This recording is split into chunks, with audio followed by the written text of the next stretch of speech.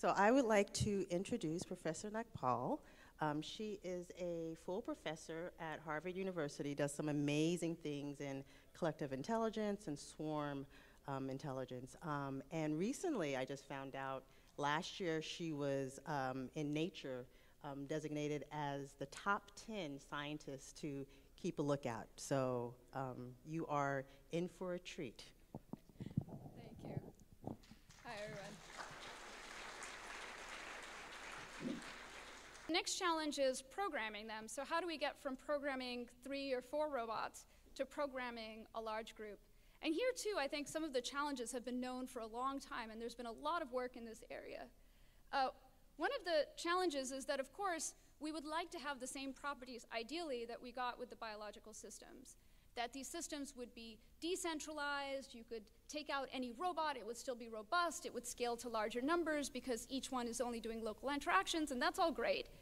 But we don't actually know what global behaviors are possible to get from local interactions. What's things, where's the boundary between decentralized and hierarchical or centralized? Our approach um, in this particular case is to take simple behaviors that we understand from biological systems and then use a very computer science technique of thinking about a compiler. Could a user give you a shape or something that you wanted, and then I systematically compose these collective behaviors that I know to achieve a more complex behavior that I want? And can we then do it in so systematically that we can prove something about the group? We had to add certain algorithms, for example, to find these robots that were misbehaving in the traffic kind of situation and actually cause them to decide to reboot themselves or take themselves out of the process or something. So it was actually a very interesting um, system. Here you can actually see one of the robots starts and then it gets stuck and then the other robots actually know to move around it.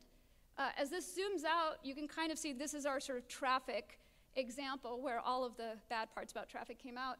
Um, some cases you can actually see caravans or you can see places where it was difficult to traverse and the robots start jamming up. But we had to do a lot of things to get this system to work.